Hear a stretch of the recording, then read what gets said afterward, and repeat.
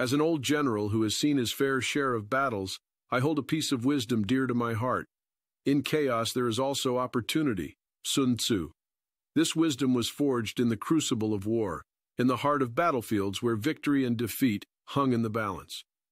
Looking out at the sprawling military base, the soldiers hustling with discipline and urgency, I'm transported back to my first day in uniform.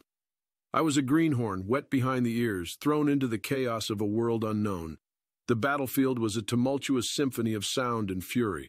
It was easy to lose oneself, to succumb to the overwhelming disarray.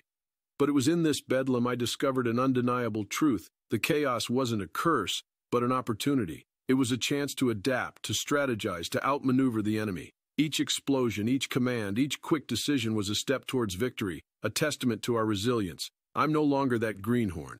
I've become a beacon for those looking for order in the disarray, guiding my troops through the fog of war. I've learned to find opportunities in the chaos, to turn the tide in our favor. Perhaps you found unexpected opportunities in the chaos of your own life. Share your story in the comments below. Even in tumult, we can find our path, our victory.